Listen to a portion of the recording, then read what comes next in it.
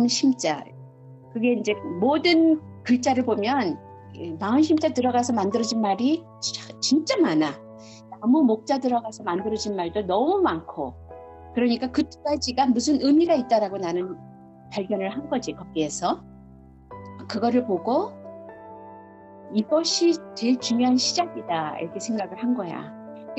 마음 심자 어떻게 만들었을까 사람들이 그래서 글씨를 보고 옛날 사람들이 이 글씨를 어떻게 썼을까? 이게 어떻게 썼는데 시작은 어떻게 됐는데 여기를 이렇게 변형돼서 왔을까? 그 변천사를 보는 거지. 글씨의 변천사. 내가 글씨도 진화한다 했잖아. 시대에 따라서. 그래서 옛날 글씨를 다 봤어. 근데 갑자기 어 요건 뭔가 꼭꼭 싸놨네. 숨어 있구나 이런 게 딱 보이더라고. 일단 먼저 꼭 숨어 있는 모습이다. 그래서 왜 숨이 숨인가? 저쪽 숨 해서 숨어 있는 거기까지 들어가는 거야 숨. 쏙 집어넣는 거. 숨을 집어넣으셨다 그랬잖아. 우리 몸에 가장 깊숙한 곳까지 산소 공급이 안 되면 우리는 안 살아 못 살아. 그치? 그 숨어 있는 어떤 구석까지도 들어가야 되는 거야. 이 숨은. 그러니까 그 숨어 있다라는 것과 이 숨은 반대인데 같은 거야. 항상 알파요 오메가다. 나는 거기에 답을 얻는 거야. 그래서 숨겨 놓으신 이유가 무엇일까? 숨겨 놓으신 이유가 있을 거야. 숨겨 놓는 거 뭘 숨겨 놓지? 가장 귀한 걸 숨겨 놓잖아. 그거야. 가장 귀한 것이 무엇인가? 알이잖아, 씨알. 그 씨앗을 숨겨놨다도 하고 심어 놓으셨다. 그래서 마음 심이야. 심어 놓으셨다.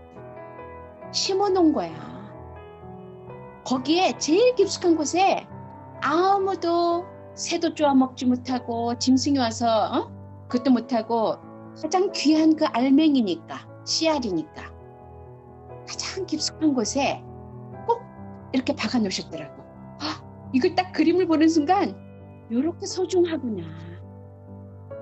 내가 소중하다는 말 했잖아. 그 소중하다는 거는 중은 무게도 되지만 무겁다라는 그 무게감을 느끼는 거는 그거는 귀하다라는 뜻에서 무게감이 느껴지지. 그러니까 가치가 있으니까. 그런가 하면 가운데 중도 같은 중자야. 가운데 중. 우리의 가운데 톡 집어넣어 놓으신 거. 요것이 심이야. 그래서 심이 박혔다 그렇지.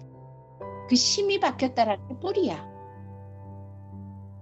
뿌리인데 그것을 본심이라 그래. 심이 박혔다. 그걸 본심이라고 부르면 그게 하느님의 마음인 거야. 하느님의 마음을 우리한테 심어 놓은 걸 마음심이라 하는 거야.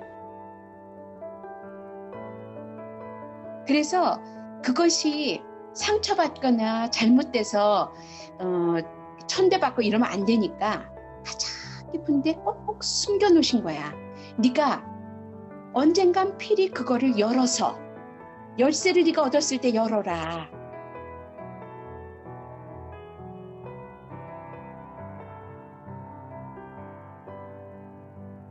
그걸 열어야 되는 열의가 있는 사람만이 마음을 열어서 하느님과 만날 수 있는 거야. 거기가 하느님 만나는 길이야 거기가. 그렇지? 이렇게 풀면 너무 정확하지 않아? 내가 이거를 정확하다라고까지 말을 하는 이유가 진짜로 놀라운 게 우리 마음 하지 마음.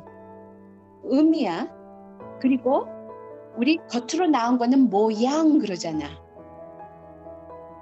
그러면 음 양이 거기 있는 거야. 속에 있는 것과 바깥에 있는 것이 있다는 거지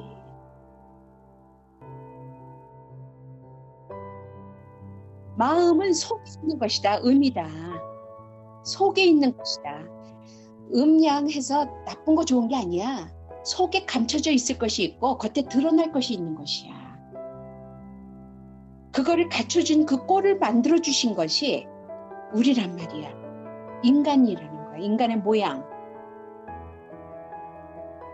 그래서 이렇게 잘 쌓여서 꼭꼭 속에 숨겨진 그래서 꼭꼭 그것도 이렇게 열쇠를 탁 채워진 자물쇠를 채워진 모습. 이게 마음 심자야 옛날에 그려놓은 걸 보니까